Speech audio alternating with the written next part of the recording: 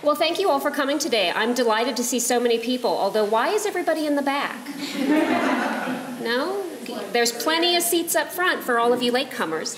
Um, so we have a really ambitious agenda today. So we um, want to get going and move forward. But what we'd like to accomplish today, we'd like to um, accomplish these two goals. We'd like to identify uh, the opioid issues in our community, make sure we have some consensus and understanding about what exactly is going on in our community, um, and then let's. We uh, want to turn this from a dialogue into an action planning process. We want to uh, begin the planning process to develop a community-based response and identify some evidence-based interventions that may help us get a handle on the opioid opioid issue uh, in our community. So, um, because there are um, so many of us here in the room today, um, we're not going to take the time to say who we are and who we represent, um, but we do have some very special guests in our audience today, and so we would like to uh, bring them forward and have them talk to us a little bit about uh, why this issue is of particular importance to them. So, I would um, I'd like to invite up uh, Mayor John Suthers uh, to come and uh, tell us a little bit about why he's here today. Thank you very much. And I want to thank all of you for coming out today to engage in a discussion about a very important topic. Uh, we do have a opioid epidemic in Colorado, and you probably agree with that or you wouldn't be here. Uh, the dimensions of it are quite severe. Uh, I think our numbers have improved a little bit in the last couple years since I was totally engaged in this, but couple of years ago, it appeared we had about a quarter of a million Coloradans addicted to prescription drugs, about 6% of our population. Think about that.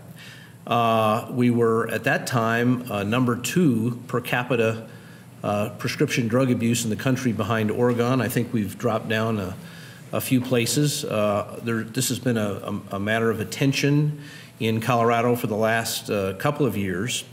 Uh, here's essentially the problem. Uh, we have a lot of people because of everything from over-prescribing to getting a hold of, uh, uh, you know, from prescription fraud to getting a hold of grandma's opioids, becoming addicted uh, to prescription opioids.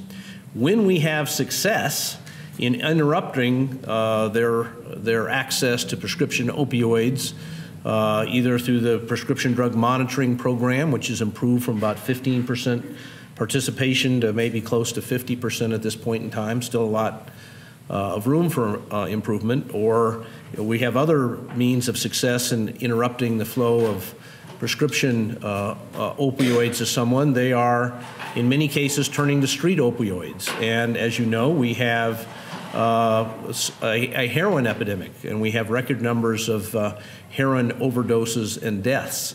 So this is a complicated uh, issue. I've come to the conclusion over the last couple years that, uh, you know, understanding that once you've got someone addicted to prescription opioids and you uh, interrupt that supply, they may well turn to street opioids. The key to this whole thing is not getting them addicted to prescription opioids in the, in the first place. And I think that really has to be uh, uh, focus of a great deal of our attention. Uh, so I'm glad to have this conversation come to uh, Colorado Springs today, and hopefully we can, uh, you know, uh, come to some consensus about a course of strategy to address it. Thank you very much for having me. Thank you so much. And now I'd like to invite Commissioner Sallie Clark. Thank you. Well, um, it's an honor for me to serve also as the president this year of National Association of Counties. And in that role, NACO, National Association of Counties, has a really a strong role and a strong voice at the national level with voices on this particular issue. Uh, one of those key issues is the opioid epidemic that is plaguing our communities, as Mayor Suthers pointed out, and here in Colorado as well. Um, my NACO presidential initiative is Safe and Secure Counties, and that demonstrates why counties matter. We play a vital role as we look at keeping communities safe uh, from local government standpoint that moves by providing the safety net. We maintain our roads and bridges, we protect public safety, we support public health and human services, and importantly, we build resilient local economies. But each year, counties nationwide invest $93 billion in justice systems, law enforcement, and crime prevention. and we invest $83 billion in public health. We also invest billions in economic development efforts because strong economies are the building blocks of safe and secure counties. But to keep our communities safe and secure, NACO is at the forefront of addressing the opioid epidemic that is facing us today. And earlier this month, National Association of Counties and National League of Cities announced a new joint task force that will be dealing with this issue. And in another week or so, I'll be heading actually to Washington, D.C. We have from uh, Melodee Colbert Kean, who is uh, from Joplin, Missouri, is the current League of Cities president, and I'm president of NACO, and we have each jointly appointed task force members. And next month that that will take place um, in DC, and we'll hold our inaugural meeting in Washington. City and county leaders across the country are looking to enhance awareness about this issue. We'll focus on how cities and counties can collaborate to really stop this epidemic. And we see locally the devastating effects of what it's doing with regard to prescription drug abuse, and as Mayor Suthers pointed out, sort of the gateway into opioids and heroin abuse that we're seeing today. So this initiative that NACO and League of Cities has put together will help to mitigate the crisis and strengthen the safety and security of our neighborhoods. But partnerships like this are extremely important on a local level. Drug overdose is now the leading cause of accidental death in the US. More than 47,000 lethal drug overdoses happened in 2014. Let me say that again 47,000 deaths from accidental death. That's more than traffic accidents. This epidemic is largely driven by those overdose deaths related to prescription pain relievers and to deaths related to heroin.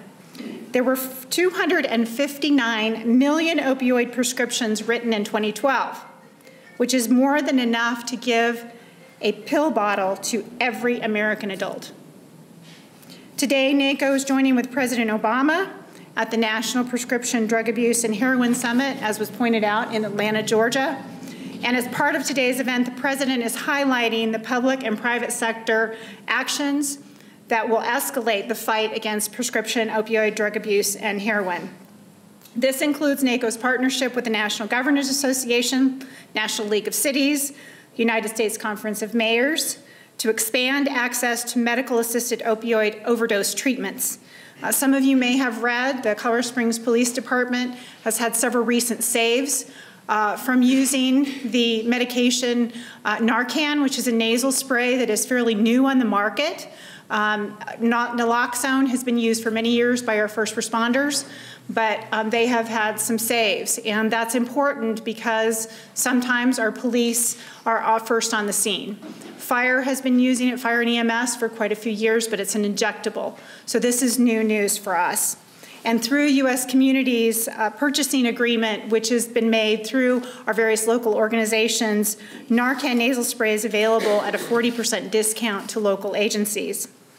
Dr. Terbush, who um, is on our Board of Health, said uh, recently that it's more potent and less expensive, and 80% of the heroin users we're seeing today started out with misuse and abuse of prescription painkillers.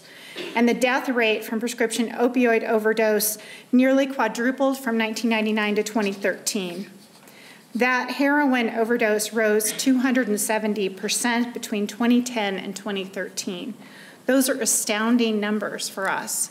And so anything we can do here from local government standpoint to support that. Um, I'm also a Board of Health member. I'm also the liaison to uh, Department of Human Services Advisory Board. And this is something that we all care about as a community. So thank you for being here today and let us know how we can help. a few weeks ago, I was in DC with uh, the drug czar, Michael Botticelli, who works for the White House, and uh, this is one of the White House's top priorities. Thank you very much. Thank you. Thank you, Commissioner Clark. Um, I'm also pleased uh, we have a representative from the uh, uh, uh State Attorney's Office today. Mr. Jose Esquibel is here. So good afternoon. Um, I'm one, probably one of the unfamiliar faces to you all, but Pleased to be here representing Attorney General Cynthia Coffman. I am uh, director of a new office in the AG's office uh, called the Office of Community Engagement. And in that role, we oversee a variety of pieces of work one of which actually, um, when Mayor Suthers uh, was the previous Attorney General, he and I had the opportunity to work, gosh, since 2006. I think we served probably almost nine or 10 years together on something called the, originally it was called the Meth Task Force, the Colorado Statewide Meth Task Force. That was repurposed into a group called the Substance Abuse Trend and Response Task Force. And I have had the honor to serve as Vice Chair of Prevention. So I'm here in that capacity. Uh, currently, uh, Attorney General Coffman serves as the chair now. And uh, this group has been looking at this issue uh, of prescription drug abuse for quite a while now, which is one of the reasons we changed the name. And I have to say that under Attorney General and uh, Mr. Suthers, Attorney General, we paid quite a bit of attention to the prescription drug abuse issue. Uh, and in fact, uh, under his watch, uh, almost $2 million went to funding some public awareness work that we were doing at the state level.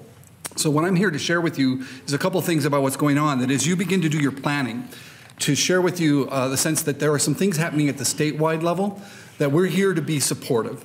Uh, I can tell you that you're probably the only, you're one of the first communities that I know of that's beginning to have this serious conversation as a collaborative group. I know other communities are doing parts and pieces of this kind of work to respond, but this is the first community that I'm aware of that's really coming together to think through comprehensively what can we do to make an impact on this issue.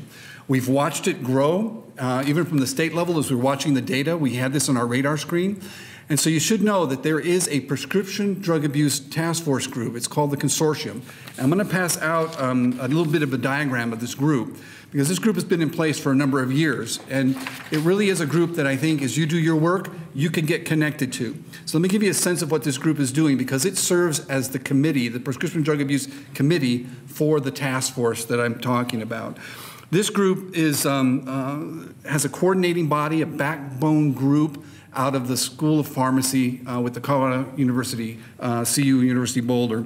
They're uh, outstationed out of Anschutz campus in Aurora. But let me give you a sense of how comprehensive this work needs to be as you think about where you're headed and where you're going.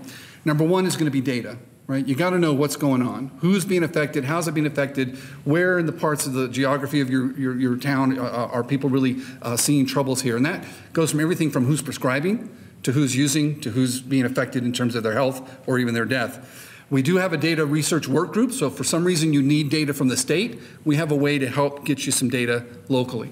More importantly, we're working on a data mapping process that you might want to put some of this information into a web-based uh, database system to kind of map all these different issues. Where are these things occurring? We can coordinate with you to get access to this web-based mapping software program so that you can get some of that data together and make some decisions and plans around that.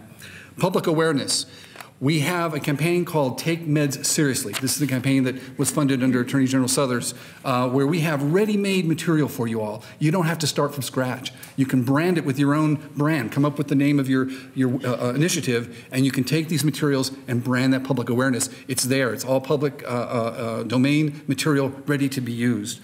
Safe disposal. How many of you have participated in safe disposal efforts in your town? Several of you have. You have law enforcement folks that are helping set up these sites. We have one coming up at the end of April where we want to encourage folks to get rid of these things.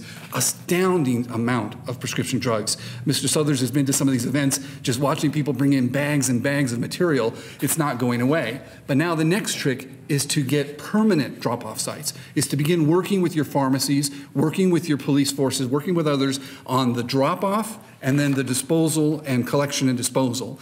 So getting those things permanently set up, because folks, it's a really crazy system where we have all these prescribed drugs, uh, narcotics going out the door, ending up in homes, and then where do they go from there? And as uh, uh, Mr. Suthers was saying, when you prescribe someone for some uh, uh, painkillers for whatever reason, is there a reason to give them 30 pills when they can maybe use four? And maybe they use the four, what happens to the other 26? And then if you're working with realtors, I hope you have realtors represented somewhere. But folks, if they're not locking up, if people aren't locking up their meds, we've got people shopping through the realtor market, walking into homes to just observe, and then looking into cabinets and taking what they can. So there's a whole bunch of things that can be done around disposal. The Narcan uh, work right now, Attorney General Coffman, we are looking at getting some funding to do mass increase of access of Narcan to first responders and law enforcement, particularly in the southern part of the state.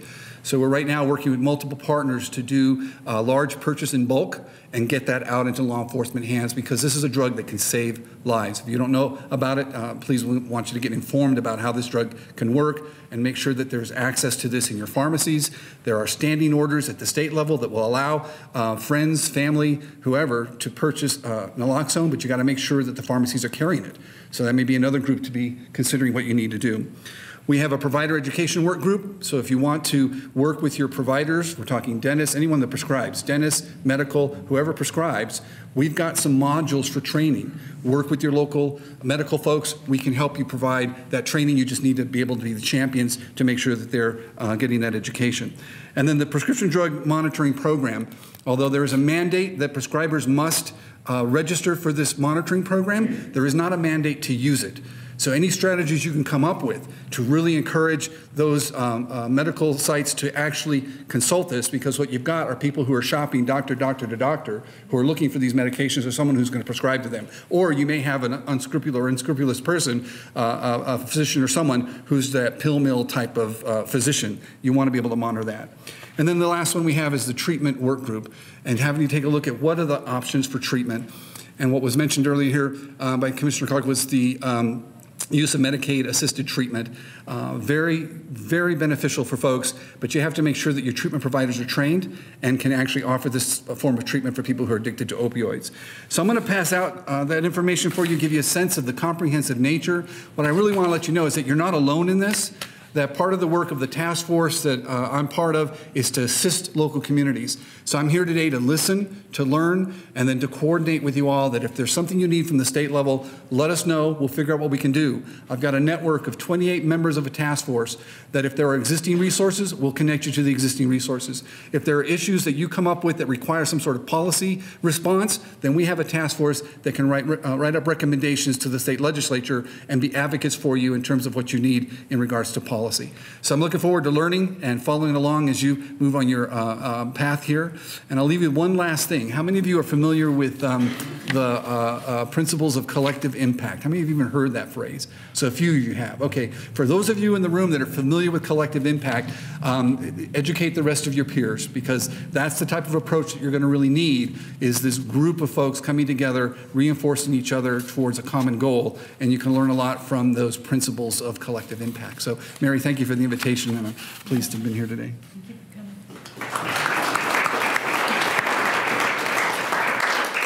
Thank you so much, Mayor Suthers. Thank you, Commissioner Clark, and thank you, Mr. Esquibel. It's great to know that that uh, you know this conversation is important at both our city level, at our county level, at our state level, and at our national level, and that we're not alone, and that maybe perhaps we're one of the first communities convening this conversation. Candidly, we're used to being trendsetters here, and we are the home of collective impact because we're the home of Community Health Partnership, um, who is the group that brought us here together today. So I do want to give um, a special call out to Mary Steiner, to Laura Thomas, to Carol Bruce Fritz, to all the folks from Community Health Partnership that helped arrange this, that brought us all together, that recognize that it's time to have a community dialogue and time to move forward together to address this important issue. I'd also like to invite uh, Dr. Uh, Dr. Joel Dickerman uh, to come and walk us through some data points to help uh, frame our conversation.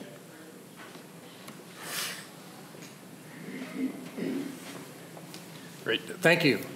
Uh, we've, we've heard a lot of statistics, so I'm not going to linger on each individual point, but I think the, the things that we really want to emphasize right now as we get into a discussion mode are several factors. One, this isn't just a national program, a problem, it's a local problem. So again, these statistics and, and our previous speakers have said, this is, hits very much at home in the state of Colorado, in our community.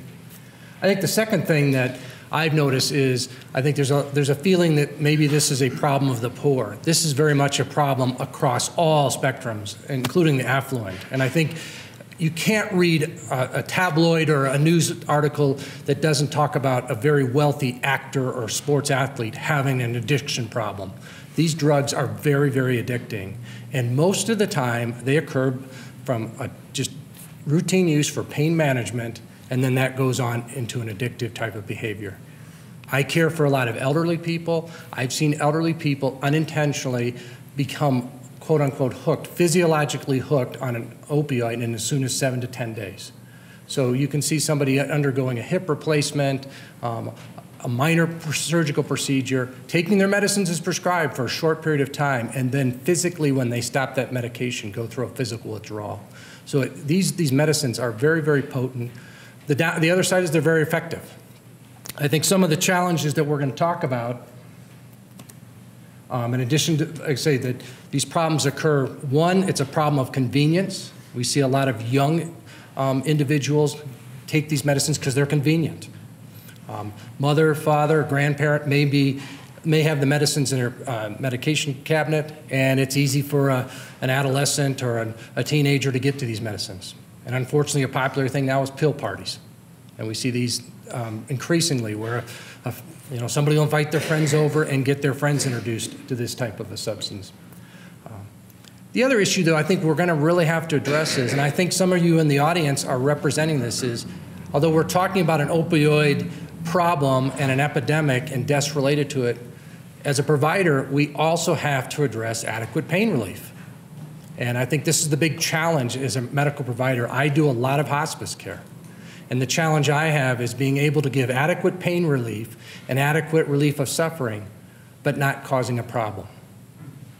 And to me as a physician, prescribing opioids is the, one of the most difficult things to do. I have to be a patient advocate on one time, and I have to police activity on the other hand. Then the other area that we really have to address as we see these issues of addiction arise is that we really do have to look at it as a medical problem. We're going to have to offer addictive, addiction services. Like I say, a lot of these individuals become addicted unintentionally, and it is extremely difficult to overcome this addiction. There's a physiological response. Uh, you'll go into a withdrawal. You get uh, very agitated, you have a lot of problems with anxiety, and so stopping the medicine isn't as simple as saying, I'm not going to do it anymore. You have to go through some kind of a uh, addiction type of management. So that's what we want to frame this discussion. Like I said, I don't want to go through the statistics other than say that it is a local and a comprehensive problem. But really, where we want to go today with the discussion is how do we address this issue locally? How do we do it in a meaningful manner that allows for adequate management of people pain and symptoms, and for those people that do have a substance abuse issue, we get them adequate treatment.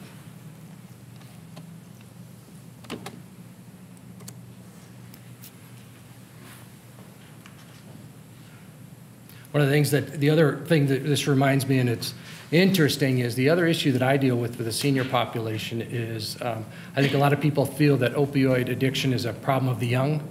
It becomes a problem of the old. And there's two reasons. One, a lot of elderly people put on narcotics for chronic pain conditions. The other thing that we run into is that many 70 and 80 year olds are the children of the 60s and the drug um, uh, culture. In fact, I have patients surprisingly in their 70s and 80s that when we do a baseline drug screen before we start opioids are positive for cocaine and marijuana and a bunch of illegal drugs because it's the culture they grew up in. So that's the fourth issue we're going to really have to deal with. What is the culture as far as um, prescriptions and drug abuse, not just for the young, but for our elderly patients as well.